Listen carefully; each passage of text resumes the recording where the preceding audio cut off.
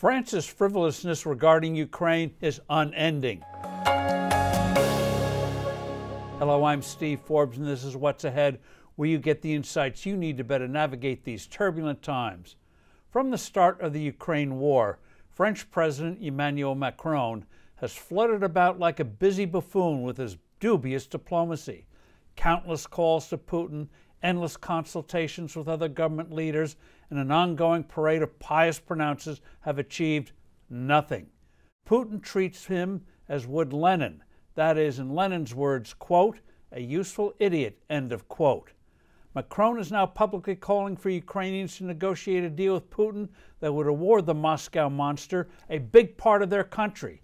In other words, hand Putin a powerful geographic base from which to launch future offensives against the rump of what's left of Ukraine after the Kremlin rebuilds its mauled military. In power politics, of course, France is not what it was when more than two centuries ago Napoleonic armies menacingly marched across Europe. But Paris would have far more sway if it took a vigorous, serious lead in recognizing the threat Putin poses to Europe's security and indeed to that of the free world. That would include pouring far more offensive weapons, including fighter aircraft, into Ukraine and publicly urging the still hesitant Biden administration to do the same, prodding the Germans to deliver to Kiev the weaponry it has already promised, and then sending in more and lead the way to provide naval escorts to have neutral shipping pick up desperately needed grain from Ukrainian ports on the Black Sea. France is in a unique position. Unlike Germany, it relies heavily on its own nuclear power for energy rather than Russian gas. In this world of weak, vacillating, and incompetent leaders, Macron could become a global colossus by taking a firm stand.